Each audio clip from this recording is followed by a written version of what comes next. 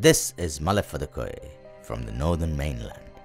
Orphaned by a tiger, he grew up with cows until he was summoned by the king. He spoke of great wonders he saw an enormous fish gulping seven large ships, a large bird eating the fish, a snake slithering out of a mountain cave devouring the bird.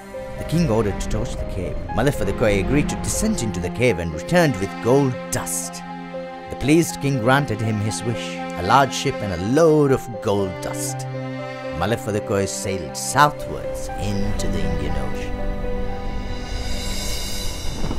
He entered the North Male Atoll and anchored near the island Giraavaru.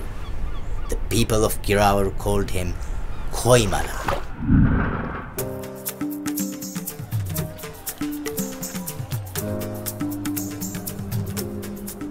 In return for the gold dust, he was offered a nearby sandbank where fish were cut and cooked. The locals called this sandbank Mahale, or Great Blood, since the lagoon surrounding was always red from the fish blood.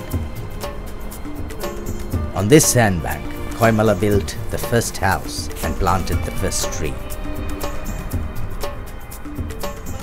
This sandbank became the island capital and was renamed as Male.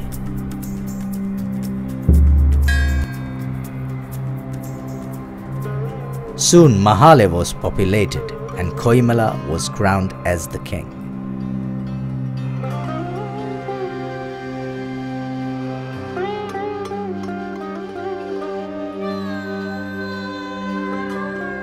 Years later, the Maldivians were converted to Islam. Koimala became Dharmawantaraskifan, the righteous king.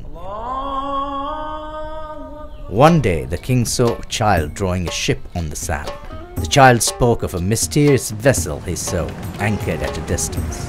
The king rowed towards the ship. As soon as he boarded, the ship disappeared, along with the legacy of Koimala.